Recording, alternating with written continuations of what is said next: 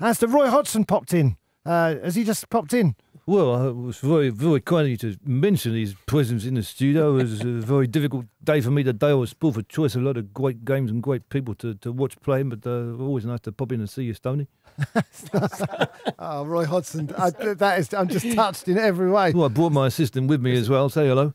Yeah, so all right. Nice to be here and great to see you as well, Ian. You know, obviously be watching the game tomorrow, Liverpool Man U. It's the big one. It doesn't get much bigger than that. But I think the fans, you know, they've got a drawer of wine underneath it now. They really have. They've got a drawer of wine underneath it. Nev, you are the best pundit on Thank you TV. very much. That's really kind of you. I It hope is- my voice breaks soon.